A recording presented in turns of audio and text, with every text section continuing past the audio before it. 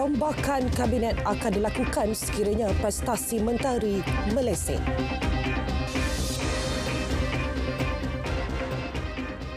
Assalamualaikum saudara, salam Malaysia Madani. Anda bersama saya Suhil Muhammad Nur dalam berita tengah malam.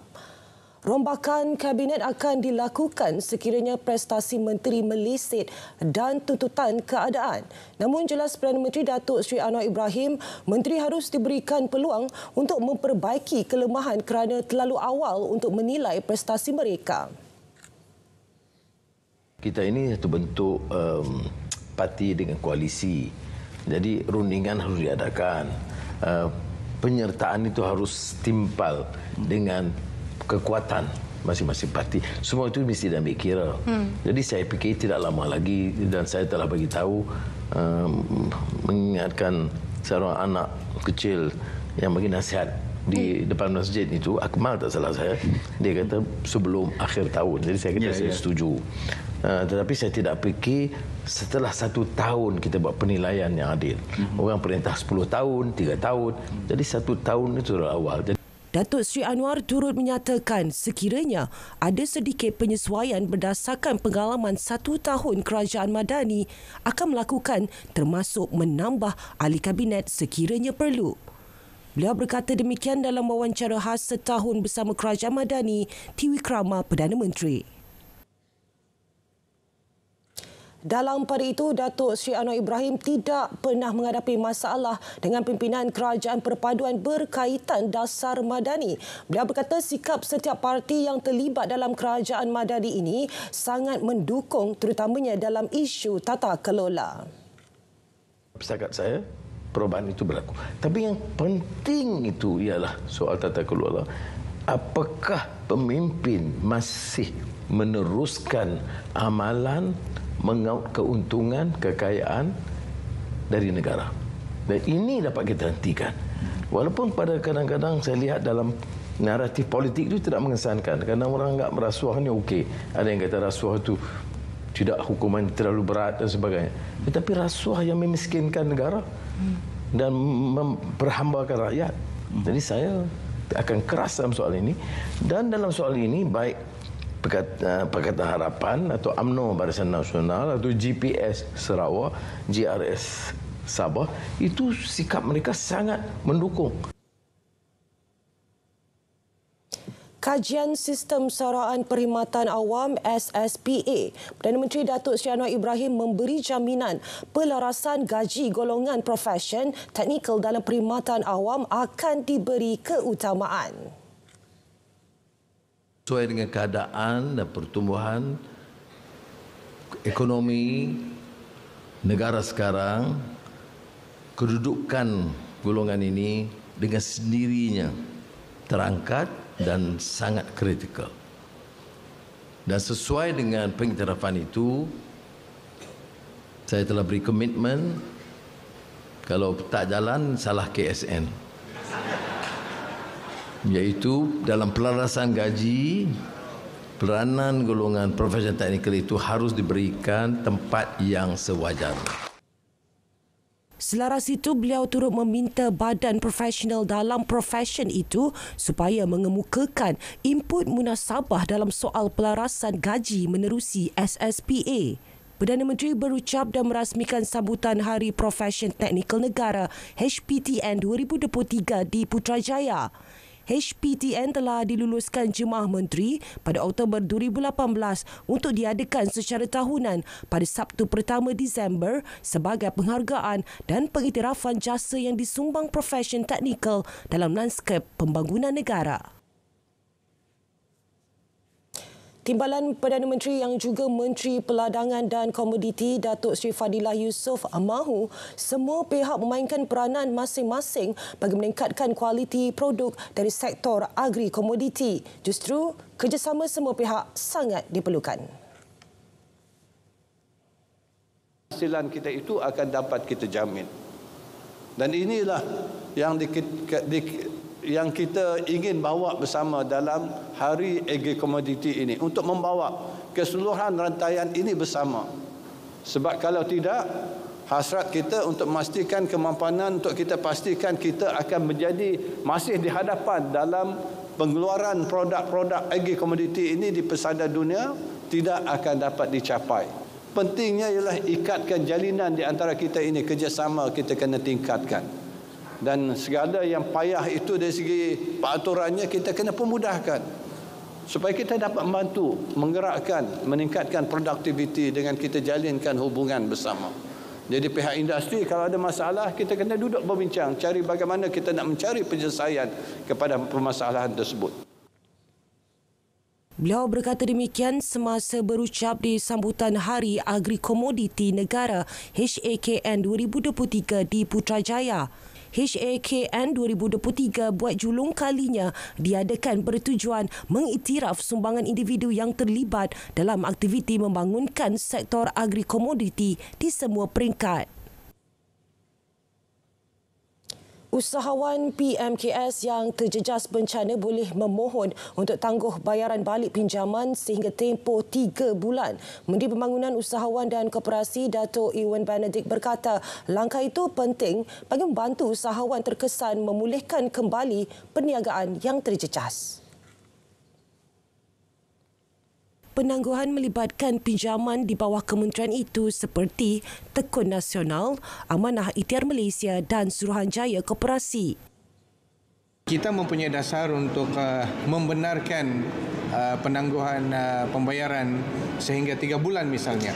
Uh, sekiranya premis perniagaan ataupun tempat operasi uh, mereka itu berniaga uh, terjejas uh, dengan uh, banjir dan uh, saya meminta uh, kepada agensi-agensi sekiranya menerima uh, permohonan daripada usahawan-usahawan PMKS peminjam uh, kepada uh, agensi-agensi bawah kementerian untuk meneliti dan mempertimbangkan uh, permohonan mereka.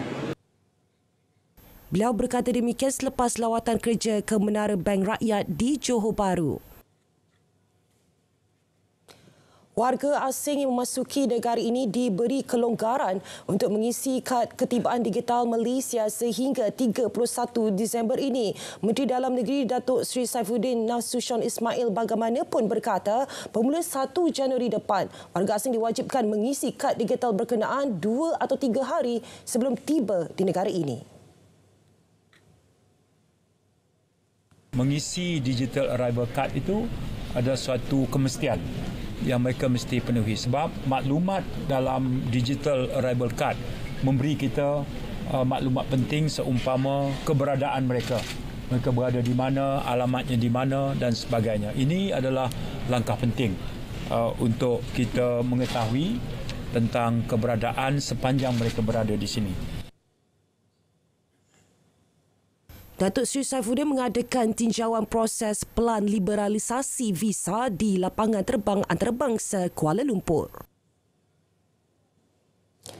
Pemberian kredit e-dompet e-madani RM100 kepada 10 juta rakyat yang layak dijangka tidak akan menyumbang kepada peningkatan kadar inflasi negara. Timbalan Menteri Kewangan 1 Datuk Seri Ahmad Maslan menyatakan peruntukan keseluruhan berjumlah 1 bilion ringgit bagi program berkenaan adalah lebih kecil berbanding angka keluaran dalam negara kasar KDNK.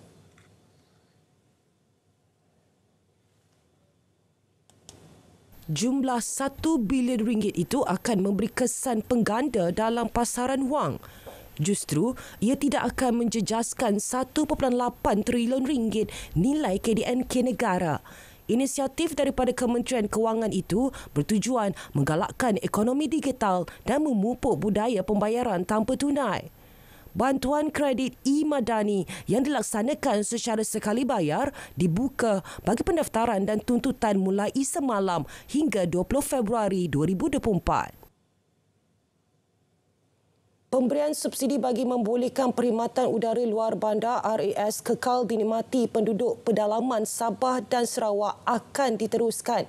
Menurut Menteri Pengangkutan Anthony Luke, subsidi tahunan 209 juta ringgit disedia untuk tampung kos operasi dan sewa pajakan pesawat bagi perkhidmatan tersebut. Setelah Maswing Sendirian Berhad di bawah Malaysia Aviation Group diambil alih Hornbill Skyway Sdn Bhd yang masih dirundingkan sekarang. Kementerian akan terus bertanggungjawab dalam menetapkan dasar obligasi perkhidmatan awam dan kriteria-kriteria kelayakan yang diperlukan. Pada masa yang sama, Kementerian Pengangkutan melalui Suruhanjaya Penerbangan Malaysia juga akan terus berperanan untuk mentadbir dan menguruskan obligasi perkhidmatan awam RAS.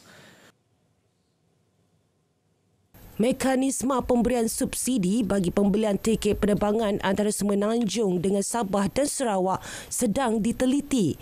Ia bagi memastikan kadar tiket ditetapkan tidak terlalu tinggi terutama pada musim perayaan. Untuk tujuan sama, syarikat penerbangan telah diminta agar tingkatkan jumlah penerbangan pada waktu malam. Sindiket Pemerdagangan Manusia menerusi tawaran pekerjaan palsu dalam talian semakin aktif. Justru, Timbalan Menteri Komunikasi dan Digital Teo Ni Ching mengingatkan media dan pencipta kandungan atau content creators mendidik orang ramai supaya tidak terpedaya dengan tawaran pekerjaan palsu. Human trafficking memang bukan satu uh, jenis jenayah baharu dalam masyarakat kita ataupun di mana-mana negara. Tetapi apabila uh, kehidupan kita begitu uh, bergan- begitu banyak bergantung kepada internet. Jadi memang uh, semua jenis jenayah ini sekarang ada unsur-unsur digital dalamnya dan kita perlu mendidik masyarakat supaya tak mudah menjadi mangsa. Uh, kalau ikut uh, laporan bahawa uh, average seba- uh, secara average-nya secara puratanya setiap setiap Malaysian kita screen time kita setiap hari adalah 8 jam 6 minit. 8 jam 6 minit. Uh, ini memang satu antara salah satu negara yang screen time-nya paling panjang. Beliau menyatakannya dalam sidang media selepas merasmikan Majlis Penutupan Kempen TIP The Narrative di Kuala Lumpur. 97.6% peserta program Jerayawara Kasih KPWKM at Advokasi Anti Gangguan Seksual tunjukkan peningkatan terhadap tahap kesedaran dan pemahaman berkaitan perkara berkenaan. Program advokasi ini bertujuan bagi menggalakkan pencegahan dan peningkatan kesedaran mengenai gangguan seksual agar budaya menormalisasikan gangguan seksual dapat dihapuskan. Program yang dilaksana di seluruh negara itu melibatkan penyertaan lebih 19,000 individu terdiri daripada pelbagai lapisan masyarakat. Langkah membenarkan kemasukan kereta diimport sepenuhnya CBU berkapasiti enjin kecil akan mengakibatkan lambakan kenderaan itu dalam pasaran juga menjejaskan usaha bangunkan industri automotif tempatan. Timbalan Menteri Pelaburan, Perdagangan dan Industri berkata, hala tuju industri automotif tempatan adalah menggalakkan aktiviti pemasangan tempatan oleh pengeluar kereta nasional dan syarikat-syarikat OEM. Ia dilaksana tanpa mengira jenama dan kapasiti enjin kenderaan. Kapasiti enjin yang kecil tidak semestinya memberi gambaran bahawa sesuatu kereta tersebut dijual pada harga yang murah kerana import mesti tertakluk kepada cukai import, cukai excise dan cukai jualan. 20,762 individu dilantik ke jawatan tetap perkhidmatan awam tahun lepas. 19,044 daripadanya merupakan belia. Data itu bukti SPA tidak meminggirkan belia dalam pelantikan ke jawatan tetap. Sebagai usaha untuk meningkatkan lagi minat dan peluang kepada golongan belia untuk menyertai perkhidmatan awam, SPA sentiasa committed dalam menjalinkan kerjasama strategik bersama institusi pengajian tinggi, sekolah dan badan bukan kerajaan NGO dalam menjayakan inisiatif seperti seperti kerja kejaya, hari bertemu pelanggan, program outreach anjuran SPA dan jemputan agensi luar. Seramai 180 penternak dari seluruh negara berpeluang meningkatkan kapasiti dan kompetisi melalui program The Cattle Ranch. Program anjuran lembaga pertubuhan peladang ini membolehkan usahawan peternakan khususnya penternak lembu berinteraksi dan membina jaringan perniagaan dalam sektor pertanian dan agro makanan negara. Timbalan Menteri Pertanian dan Keterjaminan Makanan, Datuk Chan Fung Hin berharap penglibatan golongan belia terus dipertingkatkan untuk berkecimpung dalam sektor agro makanan negara.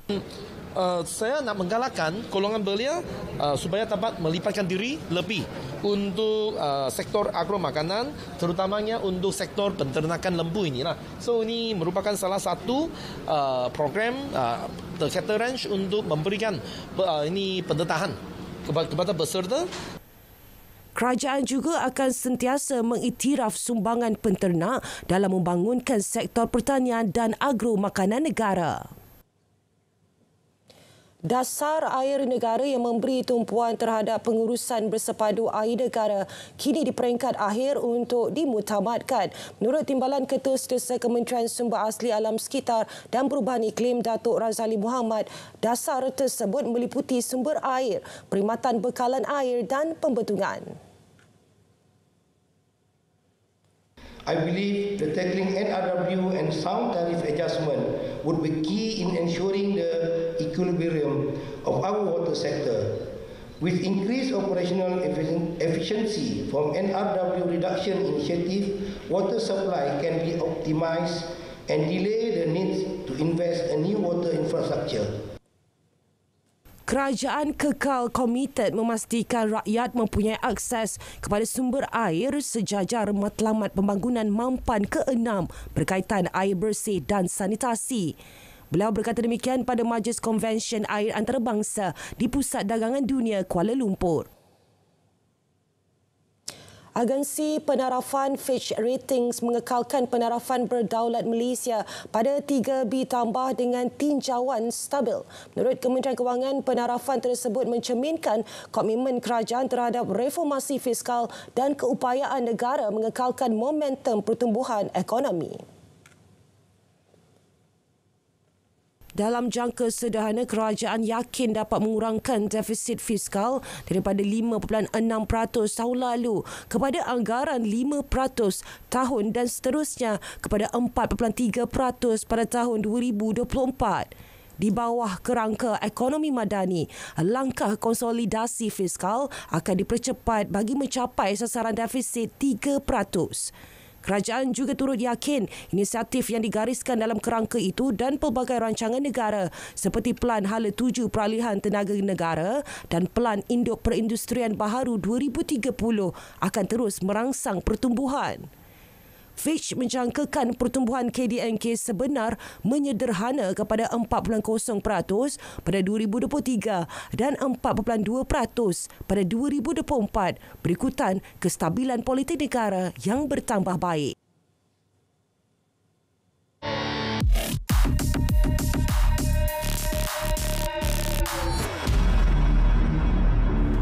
Tular di Facebook, kononnya syarikat Felda Holdings Berhad, FGV mengalami kemerosotan keuntungan kepada 31.98 juta ringgit bagi suku ketiga tahun 2023. Ia juga mengaitkan kerajaan pimpinan Perdana Menteri gagal dalam pentadbiran melibatkan syarikat berkaitan kerajaan tersebut. Semakan pasukan biar betul mendapati tomahan dipercayai sengaja direka supaya masyarakat membenci kerajaan pada masa yang sama cuba mencetuskan sentimen negatif terhadap Perdana Menteri. Dan ini buktinya. Menurut kenyataan media, FGV mencatatkan keuntungan sebelum cukai sebanyak 83 juta ringgit bagi suku ketiga berakhir 30 September 2023. Kumpulan itu turut melaporkan keuntungan operasi sebanyak 207 juta ringgit manakala hasil mencatatkan 4.91 bilion ringgit di sebalik persekitaran perniagaan yang mencabar. Henti budaya fitnah, amalkan politik matang. Putuskan rantaian penipuan, henti kongsi maklumat tidak sah. Terima maklumat palsu atau bahan fitnah? Segera lapor ke MCMC. Biar betul, pasti jangan kongsi.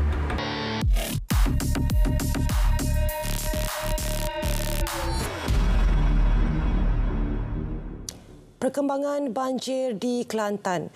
Jumlah penduduk terjejas banjir di Pasir Mas Kelantan setakat pukul 10 malam tadi kekal seramai 3,260 orang. Kesemua mereka daripada 989 keluarga itu ditempatkan di sembilan pusat pemindahan sementara PPS di sekitar daerah tersebut.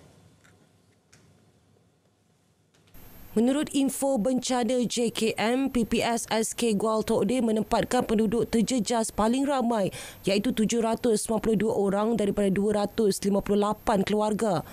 Salah seorang penduduk, Mek Yam Ahmad berkata keluarganya berada di PPS tersebut selama sebulan pada banjir tahun lalu dan kali ini sudah memasuki hari ke-13. Mereka menjadikan PPS SK Gual Tok sebagai tempat berlindung. Ah itu seru ya main pakai jerelo lah gitu rumah. Dia mak cik sama-sama kali pertama lah medahnya. Orang lain tak tahu mana kita medah tu. Orang lain klik kita tak klik lagi. Hmm.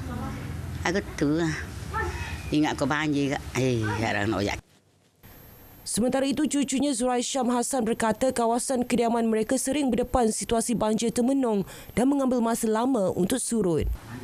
Dia duduk 2-3 tahun ni, lama sikit. Sebulan. Dekat itu, dia balik rumah dua hari, pindah hari pula. Kalau tahun lepas dengan dua tahun lepas lah. Nah, kalau ni, hon ni baru start banjir.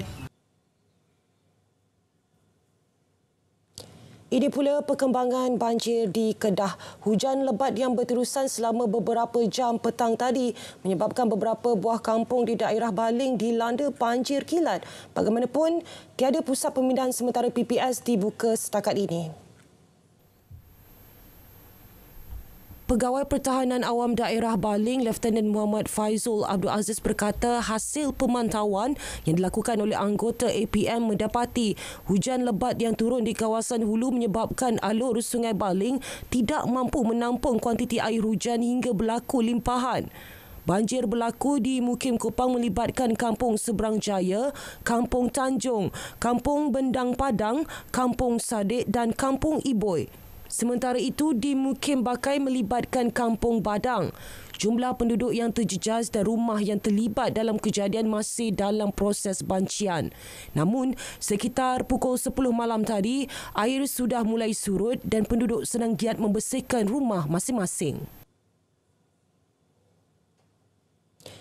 Sementara itu, hujan lebat dan angin kencang yang melanda di daerah Sik Kedah kembali pulih. Dua buah kampung yang terjejas ialah Kampung Chong dan Kampung Telaga Batu. Pegawai APM Daerah Sik Lieutenant Pertahanan Awam Haisul Haisyah Muhammad Napiah berkata tiada PPS dibuka namun pemantauan diteruskan bagi memastikan semuanya dalam keadaan terkawal. Dalam pada itu, banjir turut berlaku di Bandar Baharu Kedah namun tiada pusat pemindahan sementara PPS dibuka. Ia melibatkan 13 mangsa terjejas banjir, melibatkan Taman Cahaya dan Kampung Parit Nibong melibatkan empat kediaman.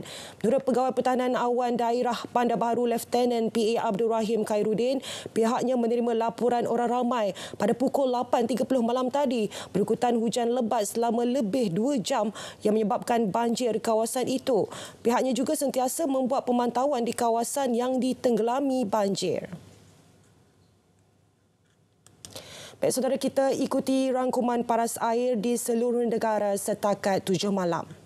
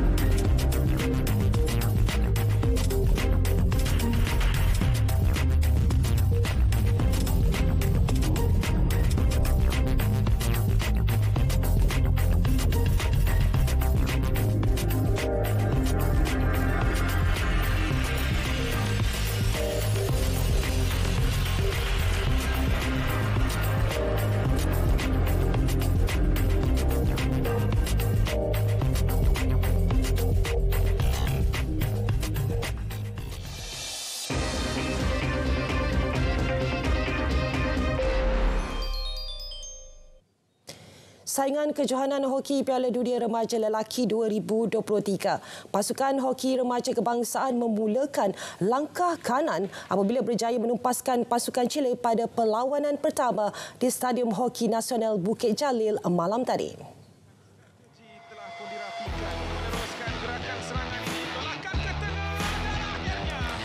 Pasukan di bawah kendalian Muhammad Amin Rahim itu dilihat berjaya menampilkan aksi cemerlang dengan meraih kemenangan selesa 7-1. Pasukan Young Tigers berjaya meraih jaringan melalui Haris Osman, Muhammad Danish Aiman, Jeffrey Nus Andi Walfian, Misron Azbil Muizuddin, Syamsul Syabir. Manakala Syami Irfan Suhaimi menyumbangkan dua jaringan gol. Namun pasukan Chile meraih gol tunggalnya melalui Wallace Lee Sebastian. Esok pasukan kebangsaan akan berdepan pasukan Argentina pada jam 8 malam. Jangan mudah selesa dengan kejayaan pada kejohanan badminton antarabangsa Said Mohdi 2003 di India Ahad lepas. Itu nasihat pengarah kejurulatihan Akademi Badminton Malaysia ABM, Reksi Manaki kepada bergu lelaki negara Chong Hun Jan Muhammad Haikal Nazri. Jelas reaksi mereka tidak seharusnya berasa cukup puas dengan pencapaian dalam kejohanan bertaraf Super 300 itu. Sebaliknya, reaksi mencabar mereka terus konsisten dalam mana-mana kejohanan disertai selepas ini. Biarpun baharu digandingkan sejak Ogos, pakar beregu dari Indonesia itu pada masa sama kagum dapat melihat anak buahnya melakar kecemerlangan di India selain mengejutkan gandingan yang lebih tinggi ranking daripada mereka sebelum ini. Hon Jian Muhammad Haikal yang diletakkan sebagai bukan pilihan bangkit dari ketinggalan pada set pertama mengejutkan pilihan utama dari Jepun Akira Koga Taichi Saito 18-21, 21-18, 21-16.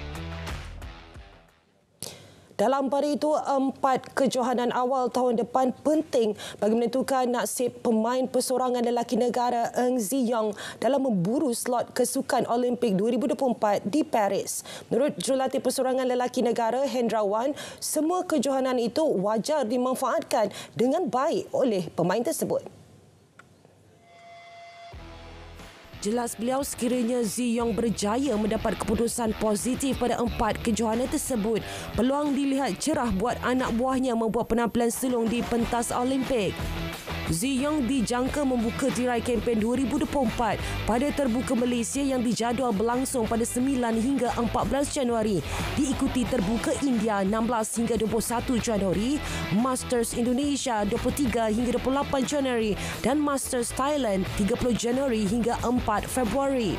Ketika ini, Ziyong berada di kedudukan ke-13 dengan 57,080 mata dalam ranking Race to Paris di belakang pemain profesional Li Zijia yang menghuni tempat ke-10. Mengikut format setiap negara dibenarkan menghantar dua wakil bagi acara perseorangan pada Sukan Olimpik. Sekiranya kedua-dua pemain tersebut berada dalam kelompok 16 terbaik Race to Paris. Baik saudara, laporan itu mengakhiri berita tengah malam. Dari sungai ke segara, Palestin pasti merdeka. Malaysia Madani tekad perpaduan penuhi harapan. Selamat malam.